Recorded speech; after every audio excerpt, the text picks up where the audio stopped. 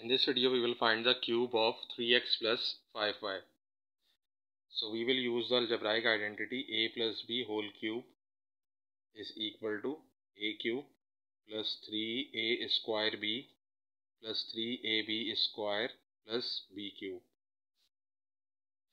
So we can see that we have 3x in place of a and 5y in place of b. So we will put 3x in the places of A and 5y in the respective places of B.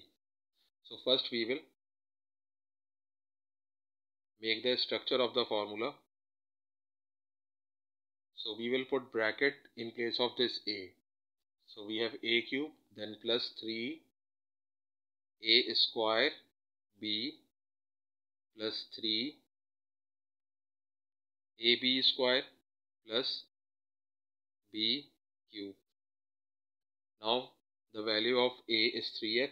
So we will write 3x over here, over here and over here. We put 3x in place of a in this formula. And then the value of b is 5y. So we would put 5y in place of b. So we will put 5y over here, here and here.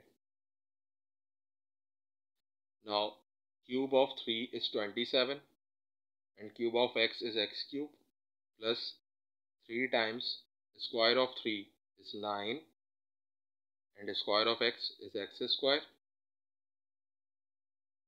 Then we write 5y plus 3 times 3x square of 5 is 25 and square of y is y square.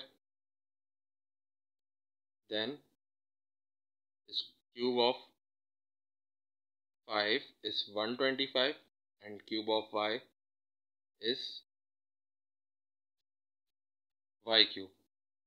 Now we have 27x cube plus 3 times 9 times 5 is 135 x square y square then plus 3 times 3 times 25 so we have 225 xy square plus 125 y cube. So the cube of 3x plus 5y is 27x cube plus 135x square y plus 225xy square plus 125 y cube.